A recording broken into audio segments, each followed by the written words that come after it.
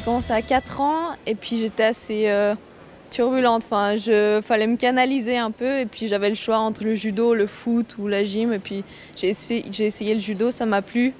Et puis bah, j'ai toujours continué euh, avec la recherche toujours du combat et de tout ça. C'est quelque chose qui me correspond. J'arrive pas à mettre des mots forcément, mais c'est cette sensation de, tout donner sur un combat et d'essayer de, projeter l'autre au sol. Euh, c'est vraiment temps et très complet comme sport. Il y a un très bon niveau. Ici à Geur, il y avait la championne d'Europe et la vice-championne d'Europe qui étaient présentes. Donc euh, c'était déjà un beau niveau. Et puis moi, je connaissais pas mes concurrentes, enfin de vue, mais j'avais jamais fait avec elles.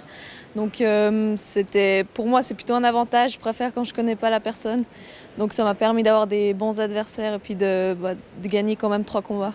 J'ai l'impression d'être passé un peu euh, tout près de la médaille et c'était possible de le faire et puis maintenant bah, c'est dommage mais c'est quand même un beau résultat, une cinquième place mais pour l'instant je suis un peu déçue.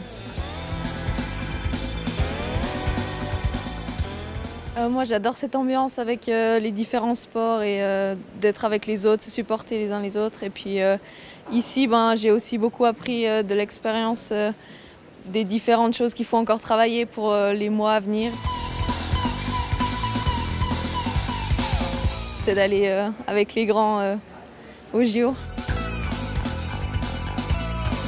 Alors euh, remanger déjà parce que j'ai dû perdre du poids tout ça donc ça va me faire plaisir de remanger puis surtout aller voir les autres Suisses dans les différents sports c'est vraiment cool de voir les d'apprendre un peu de partout.